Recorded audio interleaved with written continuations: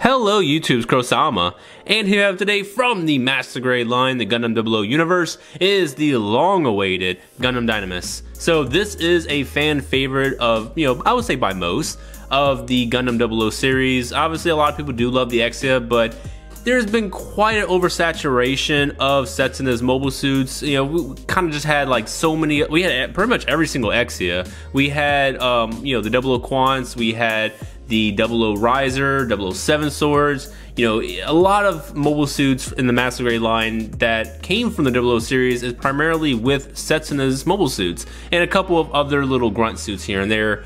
But you know what? I, I really am super happy that they decided to go ahead and make this a Master Grade. This is a very, very you know good sign that we're probably gonna get more of the uh, the lead suits in master grade form, especially with a uh, good old boy right up there.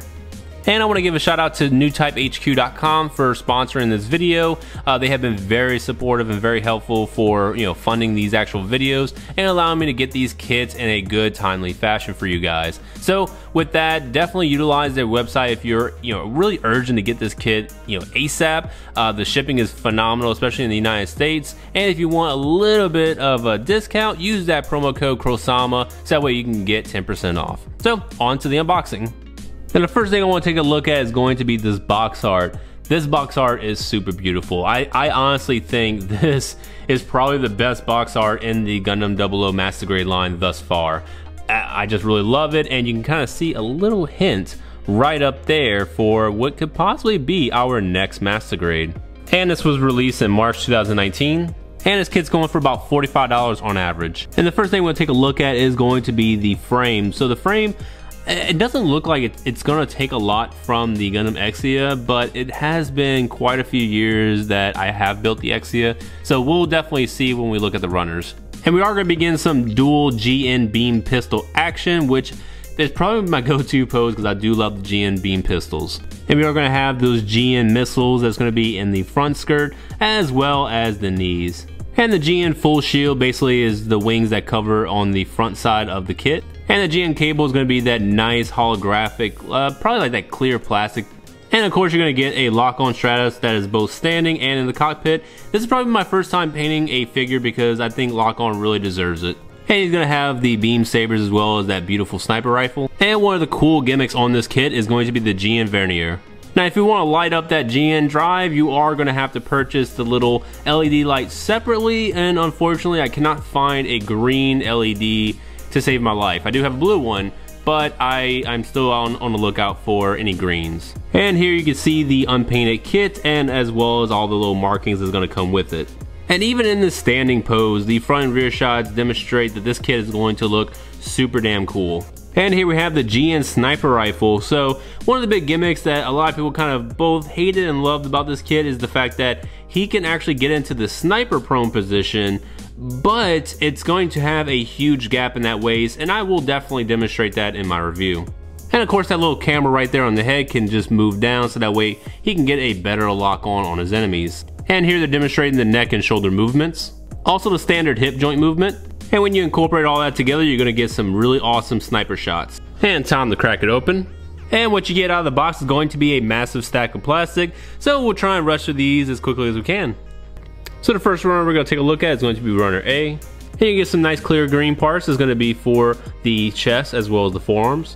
Here you're to have some nice little white right there. Nothing really too spectacular or really jumping out at me except for this beautiful lock-on Stratos figure. Uh, definitely going to paint both of them and uh, you know it's going to be my first time painting them so uh, hopefully they come out pretty good. You get some red right up there and then you're going to have some gray right down here as well. And next we're gonna have is runner B, and this is beautiful with these hands. Uh, these are my favorite type of hands because I don't really care for the individual finger poses. Uh, this kind of just does all the little things I would prefer for my hands to do, which would be closed fist, open fist for beam sabers, weapons, as well as kind of just more dynamic fingers. Uh, I'm not really trying to grab or grip anything that I can't otherwise. So yeah, that looks really good, and all the inner frame looks pretty damn good itself. And next we're going to have two very large runner C's. These are going to be for more of your duplicate parts. So obviously, you know, your shoulders, arms, you got your legs in there. Uh, maybe even parts for the wings, but I think this is mostly just the arms and legs uh, in these two runners. And next we're going to have is two runner D's. This This, of course, is going to be all your white armor that's going to be for the legs as well as the arms. And there's going to be some pretty decent surface detail on here with uh, some nice panel lines and just little etched in parts. So very much happy to go ahead and panel line all that.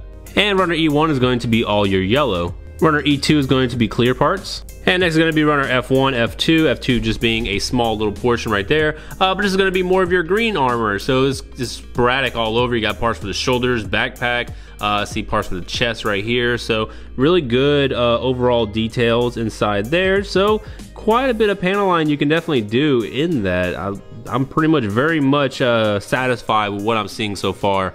Uh, just don't really like too much of the warping of the plastic right there. But obviously, if you go and just sand all that down and you know maybe even just top coat it, that should just suffice.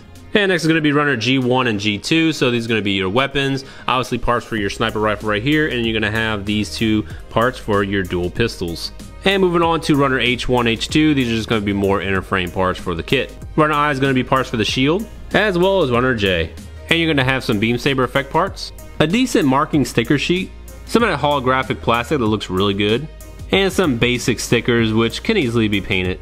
And lastly, we do have the manual, so nothing really too spectacular with this, just gonna be your basic manual. It's gonna have some nice little colored storyline arcs in here. It's gonna show you information about the mobile suit and all the armaments and everything. So pretty much like you see on the side of the box, and then just on the back, you know, we got the color guide, front and rear shot. Uh, you actually have the kind of look of how lock-on Stratos should look, but you know, obviously you can pull that from uh, online. But yeah, then you got the markings, which is going to look pretty damn cool. So not gonna paint a lot on this. I think I'm just gonna paint some of the details. Other than that, uh, I'll probably just top coat it and just be done and over with it. So that's it guys. Uh, if you do want this uh, kit, you know, please go visit uh, newtypehq.com. They are going to have this up there and you can use that promo code KrowSama so we can get 10% off. But that's it for me guys. Definitely appreciate all of you for watching this unboxing and I'll be having this review up maybe tomorrow if I'm acting very fast on the build. Uh, if not, then it should be up by Saturday my time. But that's it for me guys. I appreciate all of you for watching and I'll see y'all in the review. Bye bye.